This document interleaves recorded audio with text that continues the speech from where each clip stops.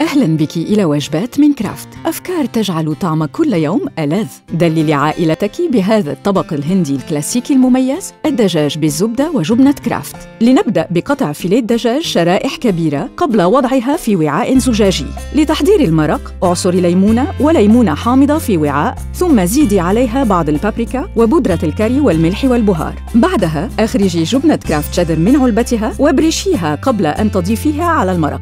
اخلطي المزيج جيدا قبل أن تسكبيه على الدجاج. اتركي الدجاج ينقع في الثلاجة لمدة أربع ساعات. في هذه الأثناء حضري صلصة البشاميل بالكرافت راجعي موقعنا لمشاهدة الفيديو المفصل الخاص بهذه الوصفة. بعد نقع الدجاج لمدة أربع ساعات سخني مقلاة على الموقد مع بعض الزيت وزيدي عليها الدجاج مع المرق. اقليه لمدة دقيقتين قبل أن تزيدي صلصة البشاميل بالكرافت وبعض من المرق أو الماء إذا ألزم. اقلي المزيج على نار خفيفة لمدة 20 دقيقة وقدميه فوراً. وصفة الدجاج بالزبدة وجبنة كرافت وغيرها الكثير متوفرة على موقعنا mealswithcraft.com استمتعي بها.